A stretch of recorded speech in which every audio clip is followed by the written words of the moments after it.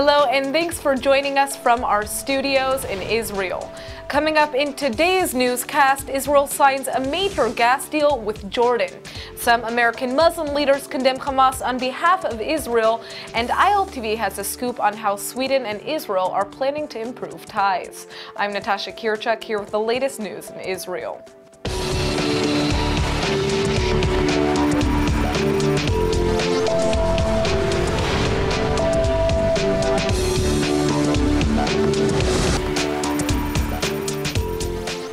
The former president of Israel, Shimon Peres, is in critical condition yet again.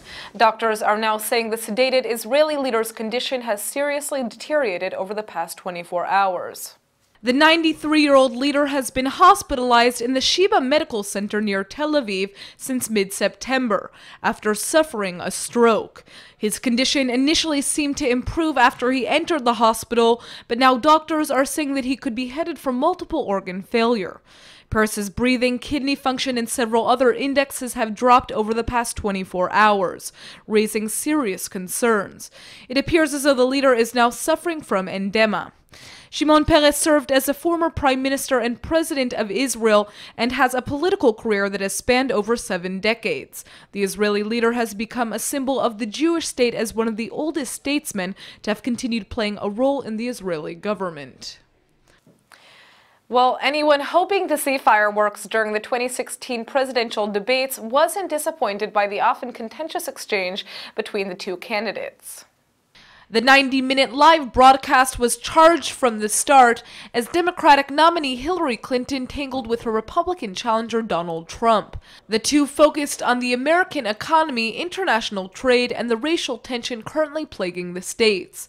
They criticized each other's temperament and potential ability to govern as the country's 45th president. Well, I have much better judgment than she does. There's no question about that. I also have a much better temperament than she has.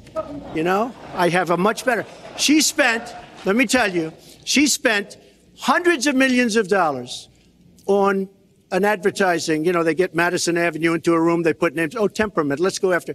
I think my strongest asset maybe by far, is my temperament. I have a winning temperament. I know how to win. She does not have, know how to win. Clinton. Wait, the AFL CIO the other day, behind the blue screen, I don't know who you were talking to, Secretary Clinton, but you were totally out of control. I said, there's a person with a temperament that's got a problem. And my successor, John Kerry, and President Obama got a deal that put a lid on Iran's nuclear program without firing a single shot. That's diplomacy. That's coalition building. That's working with other nations.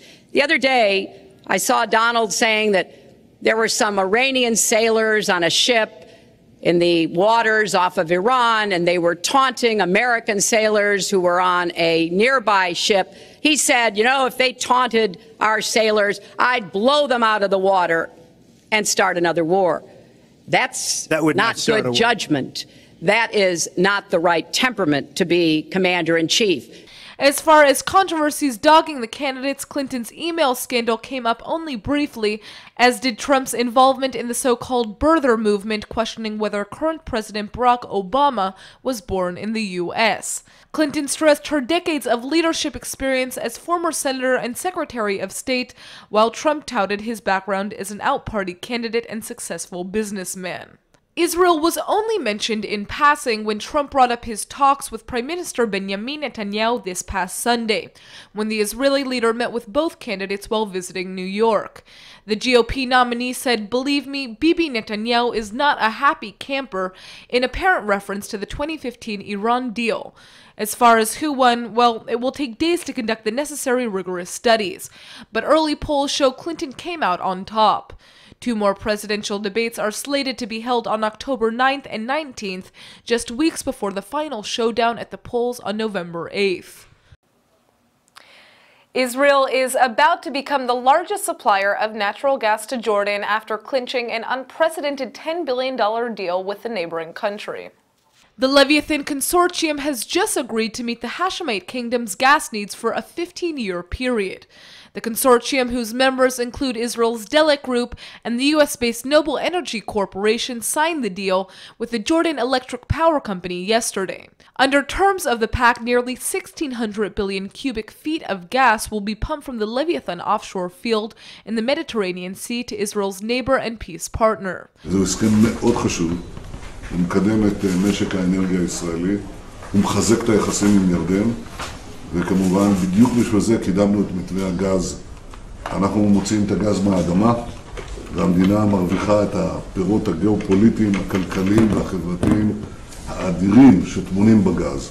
It's not yet clear who will build the 16 mile pipeline to carry the precious resource, however, which was one of the sticking points during negotiations. It's hoped that the massive oil field will go online by 2019. It was discovered six years ago and is believed to hold at least 18.9 trillion cubic feet of natural gas, in addition to some 34.1 million barrels of condensate. Jerusalem believes the reserves found in Leviathan and the nearby Tamar gas fields have the potential to generate billions of dollars in tax revenues and help Israel develop energy self sufficiency on the road to becoming a regional energy powerhouse. Israel will become an important player in the energy market, and this will enable us also to develop, to discover, and to develop additional gas fields that are waiting uh, to be explored in uh, the Israeli economic waters. In addition to supplying Jordan with a clean and inexpensive product, Israel is now reportedly holding gas exportation talks with Turkey and Egypt, and perhaps somewhat surprisingly to the Palestinians and even the European Union. That's pretty impressive for a country that has no oil and little water on its own landmass. Israel is a thriving democracy, but it's also a Jewish state, and since 1948, the government has been trying to maintain a balance between the two.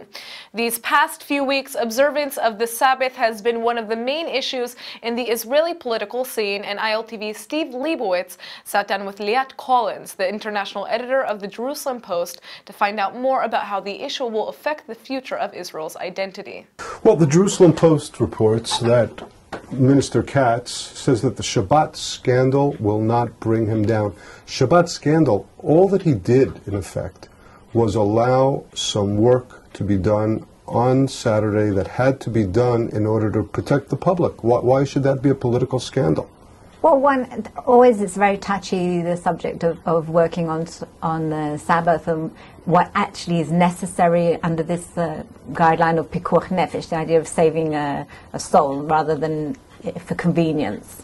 And you know that's a specific uh, category which rabbis uh, really determine more than the government ministers. I think also the um, ultra-Orthodox were m- more upset with the procedure around it, the idea of there being a press conference and photos being taken from the air at the same time, which is much harder to, uh, to justify from a, a, point of view of necessity.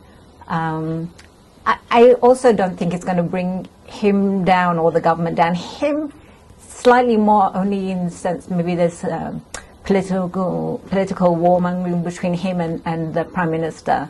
Uh, there's no love lost there lately. So I think possibly also with the um, the coalition parties, the ultra orthodox parties, this may be the first shoe. I don't think they were looking to exacerbate this into, into a full blown coalition crisis, but I think it's a subject that might be used against the the current government, against uh, Netanyahu, or against. Uh, uh, Katz later on, further down the line. I think it's more uh, sort of a form of ammunition than anything else. Well, Prime Minister Netanyahu I probably remembers back to the famous turbine uh, incident, which ended up bringing down his government when a turbine was moved. but in Israel, everything is closed. All workplaces are closed. Entertainment places are open. There are no public buses running. Considering that the ultra-Orthodox are really a, a minority in the population, aren't they, isn't it chutzpah for them to try to dictate to the rest of the secular people what should and shouldn't be on Saturday? Um, one, I, I, don't think it's chutzpah because that uh, uh, keeping Shabbat, as you said, like the, the fact that things are closed, uh, and it's certainly the difference in pace, that's actually what makes Israel Israel. That's what makes the Jewish state the Jewish state. And if we didn't have that, um, to some extent, it, it, it, just wouldn't be the same country. It certainly wouldn't be the same Jewish country uh, that that it, it's meant to be, and that that's what we love it for, really. Uh, and by the way, I, th- I think the uh, first uh, political crisis was probably the uh, uh, F-15s that arrived slightly after Shabbat in. Right. so there's a history of Shabbat issues being right. used by the ultra Orthodox to cause a coalition crisis or when they need one. Right, or, or, or even in fact the government in, in, power also. I think Rabin himself called for early elections after the F, uh, F-15 uh, fiasco, because he thought he could go into elections from a uh, strength, from a position of strength, um, which didn't happen. And I think actually over the years, um, and certainly Netanyahu has learned to be more cautious about that. I don't think he's going to want to uh, bring forward elections if he can't, if he really doesn't have to. A secular person during the summertime would probably like to go to the beach, and let's say he doesn't have much money, he's not a wealthy person, he doesn't have money for taxis. He's used to taking the bus to go places. He has to take the bus, otherwise he has nowhere to go anywhere. I mean, you would think that there are a lot of secular poor people in the country that are angry and that would vote to make changes in the country, but that doesn't seem to ever happen. Um, well, again, it's a part of. I mean, the, the, it's not a um, monolithic kind of thing. It's not homogenous. I, I, know so many people who, who go to synagogue and, and then go to the beach, or and so there's that whole um, variation of, of, views and and uh, and ways of looking at it. And I, I, think, again, people want to keep that, that slight difference of, of, of Shabbat and Sabbath from any other day. It's the same with Yom Kippur, for example. And I always think that if ever, heaven forbid, there was an actual law banning people from driving on Yom Kippur, that year people would be on the road. The fact that there isn't a law that makes you have to stop driving on Yom Kippur is the reason people abide by it. And I think even secular, non-religious people uh, enjoy that, that day of, of a, a, for introspection in their own way, marking it as a different day. And I think also marking the Sabbath in a, in a, as a different day. That's a, a, holy day separate from the regular weekday. I think that's uh, very much in force here still. Well, Liat Collins, 28 years at the Jerusalem Almost. Post. Almost 28 years covering the news in Israel at the Jerusalem Post. Thanks so much for being with us at ILTV. Thank you so much. In a show of unusual support for Israel, a group of Muslim leaders in the United States is now appealing to Hamas to return the bodies of two IDF soldiers to the Jewish state. The remains of Oron Shaul and Hadar Goldin were seized and dragged into Gaza by Hamas operatives after they were killed in the 2014 conflict between Hamas and Israel. So far, the terrorist rulers of the Palestinian territory have refused all appeals for their release. Congressman Keith Ellison and Andre Carson have joined eight other prominent American Muslims in pushing Hamas to return the bodies. The leaders have sent a letter to the Hamas political chief Khaled Mashal, citing Islamist religious text in hopes of encouraging his organization to do the right thing. They've written that the Holy Quran reminds us that whoever pardons and makes reconciliation will receive his reward from Allah, saying Hamas should act upon these words and allow the Goldin and Shaul families to bury their loved ones. The group has acknowledged that both Israelis and Palestinians have felt the pain of war and of losing loved ones and children far too soon. The letter was sent on September 21st, but has just been made public by its initiator, Rabbi Mark Schneier, who heads a Foundation for Ethnic Understanding. Meanwhile, another group in the United States has just published a very different kind of letter calling for a boycott of any Jewish goods or services coming from the West Bank. The letter has been signed by more than 70 people considered to be American intellectuals and will appear in the latest issue of the New York Review of Books. What's kind of interesting is that instead of a blanket movement against a Jewish state, which is most common in the BDS movement, this petition is clear that any products produced within the 1967 lines should not be targeted. Yet the letter also demands that all Jewish companies located in the West Bank be stripped of U.S. tax exemptions and barred from receiving any Israeli trade benefits. Looking for a home security mobile system, a way to measure clothes when shopping online, or a cool new game to download on your phone? The Israeli company Zemingo Group may be able to help you find the app of your dreams. Robert Prishku is the company's VP of Business Development, and he's here with the scoop. Thanks so much for coming in. Thank you for having me. So, to begin, tell us about your company. What do you guys do? So, um, Zemingo Group is uh, the largest mobile service house in Israel. Uh, we are a one-stop shop for developing mobile applications. Today it's more like mobile platforms. Um, and we do everything from the phase of the idea to the helping you with the market of the application after it's developed. So we take on the full cycle of the design, the development, and the marketing for mobile apps uh, for our customers. Interesting. So can you give us an example? I mean, what, what is your latest development for? So as a company, I think that we are pioneers in, um, in the field of uh, application for connected devices. We call it the field of AOT, apps of things. It's, uh, it's some kind of a subset of the IoT. Everybody knows the IoT, that almost every device today is being censored and is being connected to the web. And there's this field of taking those devices that was once dumb and turning them to smart devices. And this is our focus as a company. So, for example, we've developed things like connecting uh, security cams and uh, connecting smart glasses to apps, but we also connected uh, sensors on diapers. We also uh, turned uh, drones into drones that can be autonomous and being activated from the palm of your of your hand. Um, we have turned uh, things like uh, blood pressure measurements and glucometers into smart devices that can automatically um, transform the information to the doctors using the cloud. Um, and this is our world. So, what, in your opinion, yeah. what is one of the coolest apps that uh, your company has helped create so far? Okay, so one of my recent um, favorites, and also it's, it's a school because I've just spoken on the phone, and I can I can say that uh, they're they're now out of what's called stealth mode. Okay, so this is um, totally new. Yeah, this is totally new. So uh, there's uh, the project we've done with a very innovative startup called they're called uh, themselves Go Go Go. Uh, Go Fitch. Okay, Go so it's like Go Fetch, but it's for it's, it's for it's for uh, fishing. And uh, the the amazing thing there is that there's this whole thing that's called uh, fishing when you're doing it away from shore.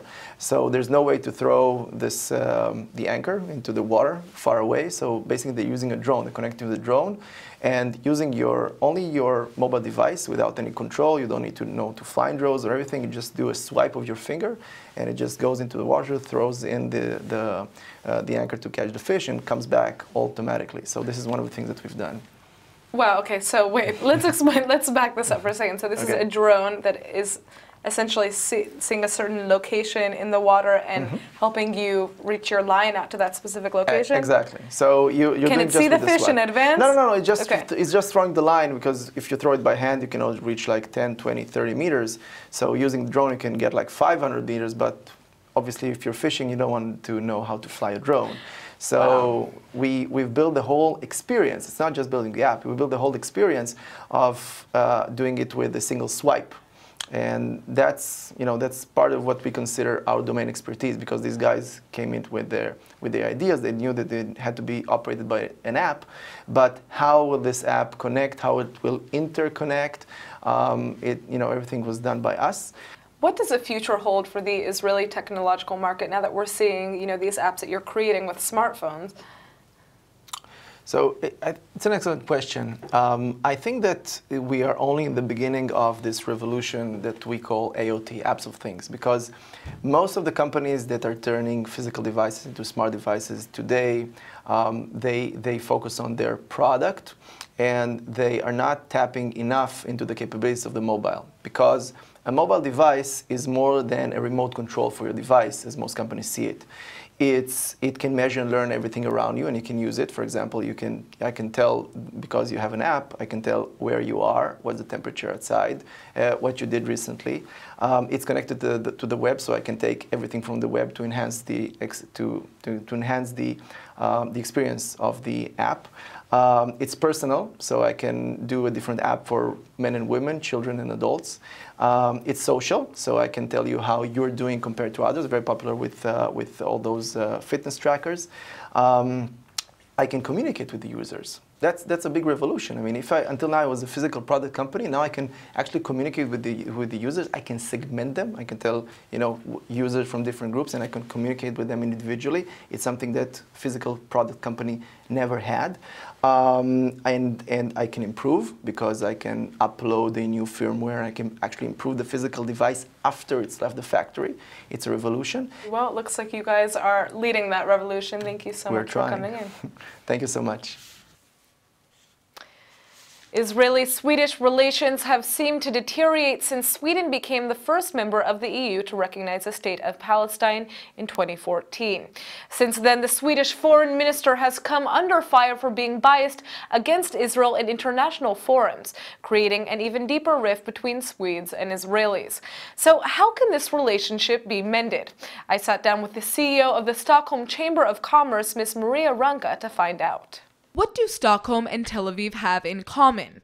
The weather may not exactly be the same, but Swedish power woman Maria Rankka says both cities are far more similar than we may realize. Both Tel Aviv and Stockholm, they are characteri- characterized by uh, these three T's uh, talent, access, technology, and trade. And we're also size wise very well positioned. So I think uh, Tel Aviv Tel Aviv and Stockholm, if our two cities play our cards in a smart way, uh, will have a, a bright future. The CEO of the Stockholm Chamber of Commerce is in Israel to participate in the 7th annual Tel Aviv City Summit, a festival focused on promoting Israel's technology and innovation. Israel has one of the highest concentrations of startups in the world, and Stockholm, Sweden happens to be the fastest growing capital in Europe, with the second strongest unicorn factory after Silicon Valley per capita. It's for this reason that Rankka believes Israel and Sweden have a strong foundation from which to improve economic economic ties. I think there is room for much more collaboration. Uh, a lot of uh, big Swedish companies are already present in Israel, and of course, a few smaller and medium sized companies as well. But if we look at the technological side, uh, you are a technological champion, and uh, Stockholm and Sweden is also considered world leading in, uh, in technologies. So, um, if I could wish for something, that would be more exchange between startups. Yet many question if Israel and Sweden can truly collaborate in the face of their weak political relations. The Swedish Foreign Minister Margot Wallström has repeatedly enraged Israel since 2014 for her attacks on security matters in the Jewish state. Last November, she identified the Israeli Palestinian conflict as one of the factors explaining why so many people have become radicalized. Then in December, she called on Israel to halt what she referred to as extrajudicial executions in the country's response to attacks by Palestinian terrorists. Later, the Swedish foreign minister demanded thorough investigations into how the Israeli army responds to Palestinian terror attacks. For a while, the Israeli government made it clear that the Swedish leader wasn't welcome in Israel. But in March, Wallström appeared to experience a change of heart towards the Jewish state. After a meeting with Israeli Minister Tzipi Livni, Wallström agreed to publicly denounce the BDS movement against the Jewish state, a move that Sweden's business community seems to be on board with. If you ask me, me and if you ask the business community in Sweden, uh, we are generally not uh, in favor of economic boycotts. And one reason is that uh, looking, it's actually very, very rare for an economic boycott to work the way the boycotters want it to work, so it's inefficient. So, what is the key to improving Israel's relationship with Sweden? Maria Rankka seems to have the key trade, tourism, and uh, a number of exchange programs. I think it it could help because um, you know you need to you need to know each other in order to to uh, to nourish a strong relationship. And now for our Hebrew word of the day. Everybody on earth has their favorite city, so today's word is Ir, which means city in Hebrew. Tel Aviv happens to be the largest Ir in Israel, and Israelis even call it Ir lelo afsaka, or the city that never stops. And believe me when I tell you that's true, the famous Ir is known for its incredible nightlife. Now, they say no city should be too large for a person to walk out of in the morning, and the good thing is that Tel Aviv isn't too big. If you're planning on visiting Israel, Israel and want to check out a different type of Ir, head out to Ir HaKodesh, or the Holy City, otherwise known as Jerusalem. It's just 45 minutes away. And if you want to get a whole different taste of Israel, head up to the northern city of Haifa, which overlooks the Mediterranean, or the southern city of Beersheba in the heart of the Israeli desert. No matter where you go, you'll get an authentic taste of the Holy Land, Ir or no Ir. Let's go ahead and take a look at the weather forecast.